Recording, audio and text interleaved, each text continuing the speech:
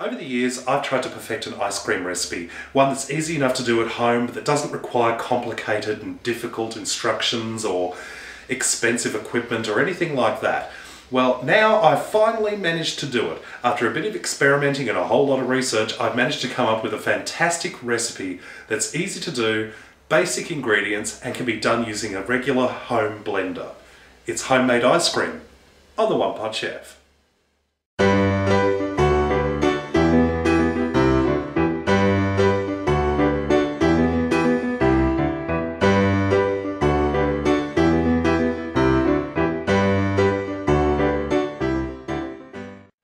So here we go, ice cream made in a blender, dead simple. First of all, we have to decide what flavour we're doing. I've got lots of bananas at the moment, so I'm doing banana ice cream.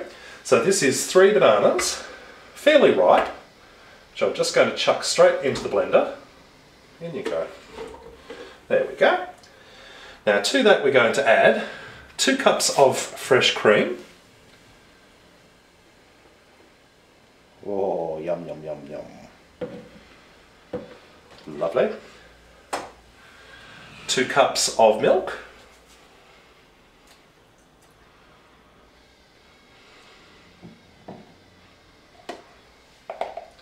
Also going to add some vanilla essence. Not a lot, just a small amount. That looks good. And just to add a little extra sweetness, we're adding half a cup of sugar. Now, if you want to make this a caramel banana ice cream, all you would need to do is replace the white sugar with brown sugar, and it'll add that nice caramel flavour to it. Now, basically, this is a simple ingredients. This is all that needs to go into it. If you wanted to make it a different flavour, like strawberry flavour, obviously replace the bananas with strawberries. If you just want plain vanilla, don't bother with fruit at all in it. You could also add chocolate, you could add pretty much any flavour you like. I know that fresh mangoes go into this absolutely fantastic.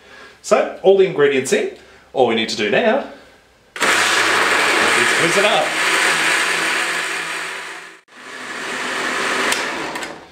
There we go. I've let that whiz for about two minutes, just enough time for the sugar to dissolve into the mixture. So, let's take the lid off. Oh god, you can smell the banana already. That's just yummy. There we go. So now basically all we need to do now is pour the mixture into a freezer safe container. Now this is a two litre container so we're going to get about two litres of ice cream out of this. There we go.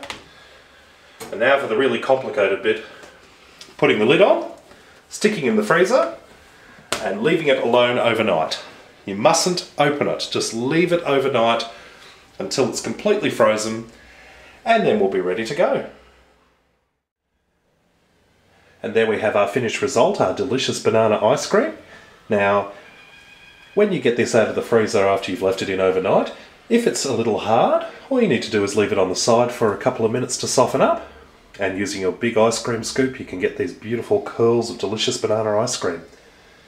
Well I hope you've enjoyed this video.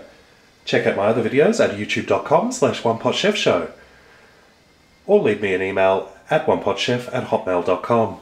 Until next time, see you later.